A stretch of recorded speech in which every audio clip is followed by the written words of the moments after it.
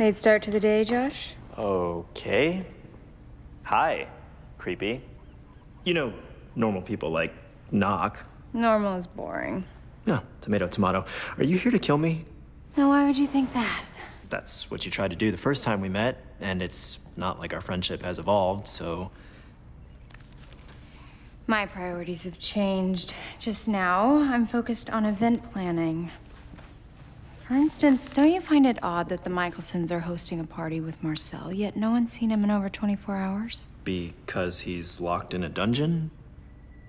After Marcel went missing, some construction guys sealed off the tunnels under Rousseau's. So, you know, one plus one equals captured. They invited you, hoping to sell the illusion it was Marcel's idea. Well, it's your lucky day. I'm your plus one. Yeah, actually, I wasn't even gonna go. I'll be damned if I'm gonna let Marcel rot right underneath Klaus's feet. This might be our one chance to get him out. I can deal with Klaus. You will find Marcel, or I will reconsider allowing you to live.